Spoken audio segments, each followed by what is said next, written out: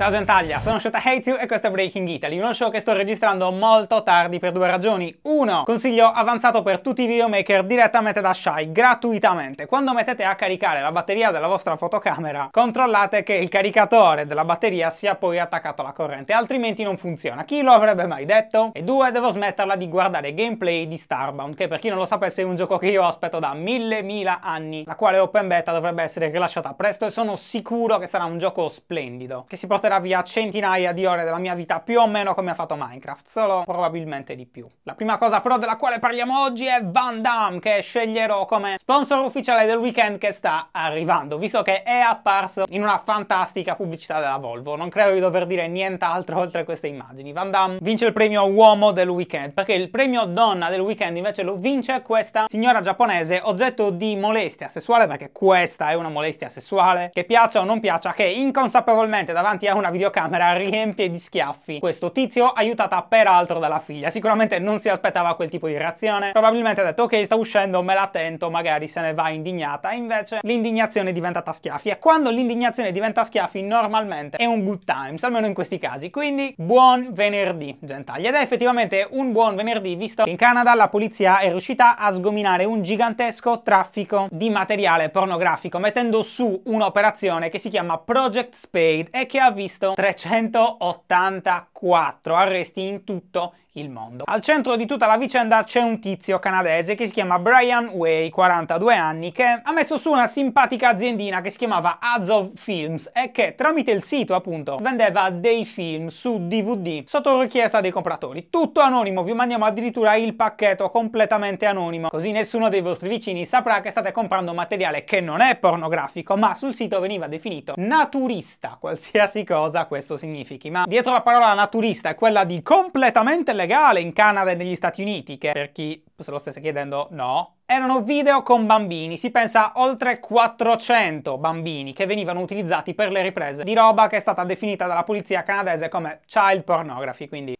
naturismo. La cosa fantastica è che delle 348 persone arrestate in tutto, solo 108 erano canadesi, 76 statunitensi e 164 venivano da altri 94 stati del mondo, compresa l'Italia. E se ve lo steste chiedendo, la demografica dei compratori è come al solito molto varia, compresi medici, insegnanti e preti, persone che potrebbero avere a che fare con i figli di chiunque in qualsiasi momento. Quindi il mondo rimane una merda, ma almeno ci sono delle persone che cercano di renderlo un pochino meno una merda. Ma poi ci sono persone che lo rendono di nuovo di più più una merda, anche se alle volte il destino è beffardo. Parlo infatti di mujahideen legati ad Al-Qaeda, che operano in Siria e che si sono scusati, ovviamente non per tutte le cose che fanno, nel nome di una sacra e distortissima visione di quella che è una religione che non dice affatto le cose che loro predicano e per la quale uccidono e si fanno saltare in aria e tagliano le teste, e proprio di impalamento della testa parliamo. Che è una cosa, lo sapete benissimo, che gruppi di terroristi fanno spesso. Tagliano le teste, le impalano e le mostrano come monito, dicendo guardate cosa succede a chi si oppone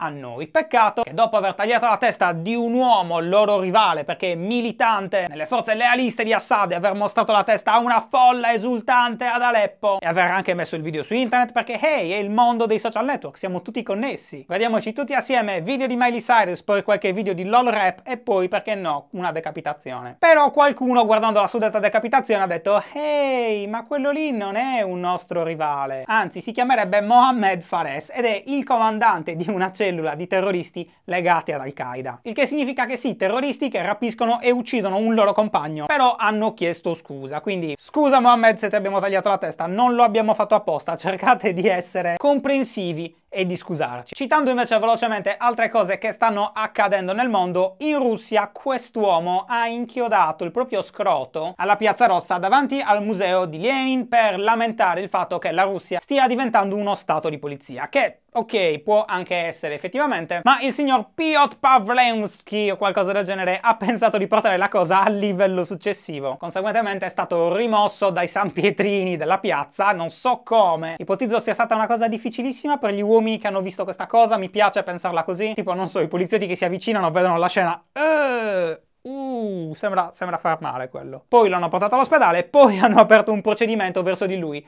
per teppismo. Quindi credo che qui la morale sia la seguente, scegliete le vostre battaglie, combattete per i vostri diritti, però per l'amor di Dio tenete chiodi e martello lontani dallo scroto. In chiusura di settimana mi sembrava anche giusto parlare nuovamente delle Filippine. Innanzitutto good job Facebook che ha reso palese un bottone che rende possibile donare dei soldi per chiunque volesse farlo direttamente alla Croce Rossa. Ve ne sarete accorti, basta aprire Facebook per trovare direttamente il banner sopra tutte le cose interessanti che i vostri amici di Facebook scrivono, ad esempio esempio. Guardate Guardate le cose! Le vittime del tifone, che tutti continuano a sperare siano meno dei 10.000 che sono stati ipotizzati, anche se ancora non trovati, sono tristemente aumentati, però la conta nel momento nel quale registro è di 4.460 morti, la maggior parte dei quali nella città di Tacloban, che è stata la parte più colpita delle Filippine e della quale non c'è più nulla. Le immagini che state guardando in questo momento sono ciò che resta della città. Negli scorsi giorni l'ONU ha anche dato una tirata di redini a affinché tutte le nazioni di fare in fretta, perché queste ore sono cruciali, al fine di portare aiuto medico alle decine di migliaia di feriti e cibo e acqua pulita principalmente a tutte le persone che faticano a trovarlo in questo momento. In ultimo, Gentaglia, negli ultimi due minuti volevo ventilare la mia frustrazione in merito a un'intercettazione che è saltata fuori oggi, portata agli occhi, anzi agli orecchie di tutti da parte del Fatto Quotidiano. L'intercettazione riguarda questa persona, il governatore della Puglia, Nichi Vendola, e questa persona, che tendenzialmente il PR della famiglia che gestisce l'Ilva. Sicuramente vi ricordate dell'Ilva, se ne è parlato tanto, ne abbiamo parlato anche qui su Breaking Italy. È una questione molto complessa che spacca l'opinione pubblica perché vede due cose importantissime per la vita di chiunque, specie di chi vive vicino, la saieria contrapporsi da una parte, il diritto allo stare bene e al non ammalarsi di cancro e vedere i propri figli ammalarsi di cancro a causa delle esalazioni della fabbrica e dall'altra parte il diritto al lavoro degli operai dell'Ilva. E cosa salta fuori tramite l'intercettazione? Niente di illegale tecnicamente, ma è semplicemente Nicky Vendola Amendola che commenta un video che in tanti hanno visto, ovvero un giornalista va dal boss dell'Ilva e gli chiede come mai le persone si ammalano di cancro a causa della vostra azienda, più o meno, sto parafrasando, e lui risponde non è vero assolutamente, ve lo state inventando. Al che il signor Pierre ruba il microfono e apparentemente Nicky Vendola, governatore della Puglia, trova questa cosa ilare, anche se si sta parlando di morti, e lo dice al telefono a questa persona. Ah ah, mi ha davvero fatto ridere. E non è tanto quella mancanza di rispetto, secondo me, a dar fastidio. Personalmente la registrazione registrazione, ve la lascio in descrizione, mi ha fatto venire la pelle d'oca, ma è più che altro il contesto della telefonata, perché il governatore della Puglia, che dovrebbe comportarsi da governatore della Puglia, ha invece un atteggiamento molto dimesso e molto ossequioso al telefono, che poi è quello che tante persone lamentano proprio del mondo politico italiano, questo continuo mash-up tra potenti, questa sorta di complicità un po' affettuosa e servile in un certo senso di chi dice a una persona che è accusata di aver indirettamente tramite la sua azienda fatto ammalare tante persone, Ricordatevi che sono a disposizione, di al tuo capo che sono a disposizione, ci vediamo, eccetera. Ripeto, niente di illegale in tutto questo, però sentire questa telefonata per me è stata un po' una delusione. Di nuovo verso la classe politica che, quando tendo a dimenticarmelo, si impegna a rimarcare il fatto che c'è un grosso problema in Italia ed è questo. Ma questo gentagli è tutto quello che avevo da dirvi per oggi, grazie per aver guardato, non vedo l'ora di andare a mangiare, ho proprio il vuotino, no? Quel vuotino nello stomaco che ti fa dire